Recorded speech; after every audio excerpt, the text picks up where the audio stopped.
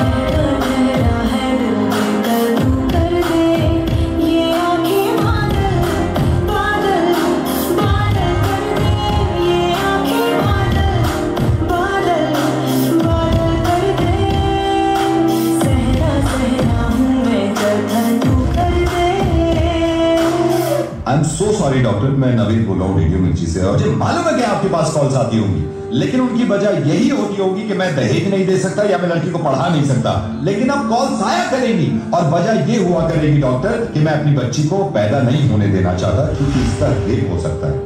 दिल्ली में आठ महीने की बच्ची का रेप हुआ। आठ महीने की बच्ची होती कितनी अगर वो तंदुरुस्त ना हो, इंसान के एक हाथ में आ जाती है। उसका रेप हुआ है।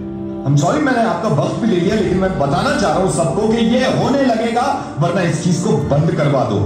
मेरी समझ में नहीं आता कि स्लोगन देखने के बाद लोग खुश हो जाते हैं। बेटी बचाओ, बेटी पढ़ाओ। क्यों?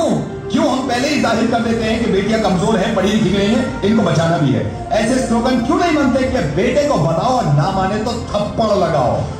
और जितने लोग इस बात को मानते थे ना कि लड़की घर से बाहर निकलती है तो रेप होता है, उसके रिश्तेदार ने बेडरूम में घुस के उसकी बच्ची के साथ रेप किया। जब इसके माँ बाप ने इस बच्ची को देखा तो खून में लथपथ पड़ी थी। पूरा हॉस्पिटल गूंज गया था इसकी चीख से। और हिंदू मुस्लिम आप करते रहिए अपना काम एक दूसरे को बुरा भला कहने में और जुलूस निकाल के एक दूसरे को मारने में। अगर शर्म है ना थोड़ी सी तो इनसे ज़्यादा खतरनाक जो हमारे मुल्क में हो रहा है कि बच्चियों के रेप जो करते हैं, उन जानवरों को जाके सबक सिखाओ यही भीड़ ले जाकर। और कोई बताने की ज़रूरत नहीं है किसी को कि लड़कियाँ किसी से कम नहीं होती। जब आप किसी को ये बताते हैं कि लड़कियाँ किसी से कम नहीं है, इसका मतलब यह है कि कहीं ना कहीं पहले से ही दिमाग में हमने ढूंढ रखा है कि लड़कियाँ कम होती है। सौ करोड़ की आबादी में अगर एक इंसान भी मेरी आवाज़ सुन रहा है ना और इसको ये लगता है कि लड़कियाँ देर रात घर से बाहर निकलती हैं तो रेप होते हैं तो मुझसे बात कर ले। मैं कसम खा रहा हूँ, अगर इसने मुझे हरा दिया इस चीज़ में तो ज़िंदगी में कभी आवाज़ नहीं सुनाऊँगा।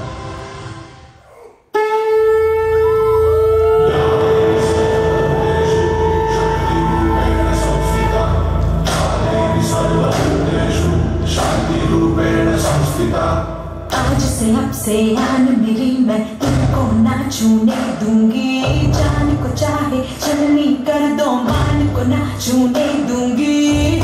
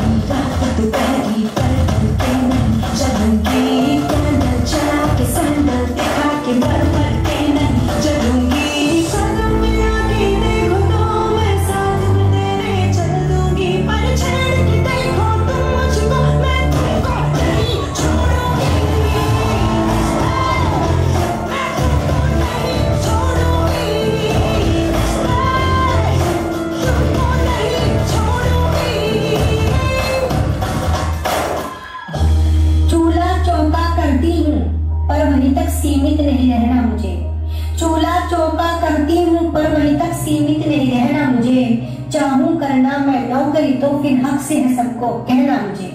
मैं बोझ नहीं बनना चाहती, मैं सोच से आगे जाऊँगी। मैं बोझ नहीं बनना चाहती, मैं सोच से आगे जाऊँगी। तुम तोड़ो तो जंजीर मेरी, मैं जग में नाम कमाऊँगी।